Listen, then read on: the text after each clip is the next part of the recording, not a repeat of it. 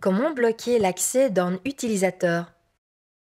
Vous pouvez accéder à la page d'accueil via Accueil. Cliquez ensuite sur Gestion dans la barre de menu bleu. Sous Mon compte, vous trouverez Gérer les comptes. Vous y trouverez un aperçu de toutes les personnes qui ont accès à ce compte particulier. Supprimer un compte. Il suffit de cliquer sur la croix pour bloquer l'accès pour cet utilisateur. La suppression effective des utilisateurs peut être demandée à NBN Service Delivery, dont les coordonnées se trouvent sur la page Contact.